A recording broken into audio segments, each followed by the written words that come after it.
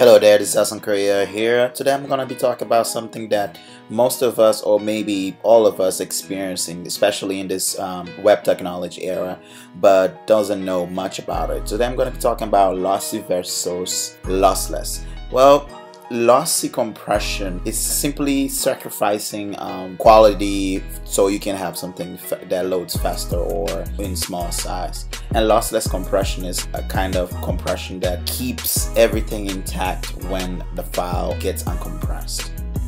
So just for you to have an idea I have an original photo here. If I'm trying to save for webs to make some space and make it load faster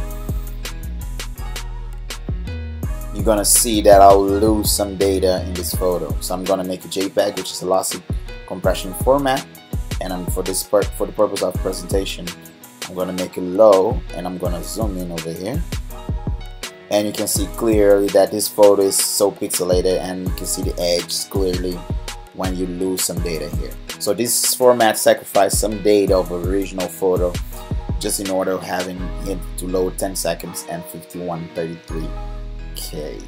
So same thing when you're doing when you're dealing with uh, audio and Adobe Audition and trying to save a mix down to an MP3 format, which is also a lossy compression format.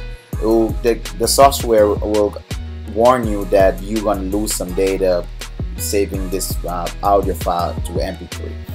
For just to have an idea, MP3, MP4, JPEG, um, are lossy type of formats, and and JPEG 2000 and PNG are lossless format types.